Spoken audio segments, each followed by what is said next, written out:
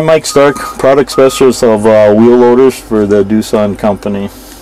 One of the uh, options that we have for the Doosan wheel loaders is our electric steer uh, joystick steering. What it does is it replaces the actual uh, steering wheel.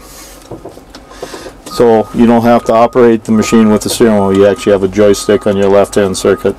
To uh, engage it, you actually push the gray button and then you have to turn the machine left and right you just use the small joystick. Along with that you also get a forward reverse switch to actually go from forward reverse.